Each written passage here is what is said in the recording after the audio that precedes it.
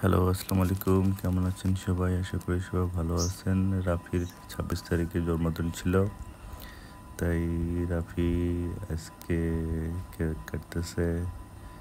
হ্যাঁ এবং রাফি খুব হ্যাপি দেখতে পাচ্ছেন রাফি সুন্দরভাবে কেক কাটতেছে। হ্যাঁ এবং বলতেছে যে, মামা, কেকটা অনেক সুন্দর হয়েছে এবং অনেক ভালো হয়েছে। কেকের উপরে দুটো ছোটো বাচ্চার ছবি আছে। হ্যাঁ রাফি বলতেছে যে, মামা, কেকটা অনেক সুন্দর হয়েছে। এবং এই কেকটা দেওয়া হয়েছে সন্ন্যাস বেকারি থেকে। আপনারা চাইলে নিতে পারেন সন্ন্যাস বেকারি থেকে। এদিকে রাহাতও চাকু দিয়ে কেক কাটতেছে এবং রাহাত রাফিকে সাহায্য করল যে কেকটা এইভাবে কাটতে হয়। রাহাত রাহাত এদিকেও কেক কাটতেছে, এদিকে আবার রকি। হ্যাঁ একদিকে আবার রকি অল্প করে কেক কাটে, আবার নিজে খাবে এবং সবাইকে খাওয়াই দিবে।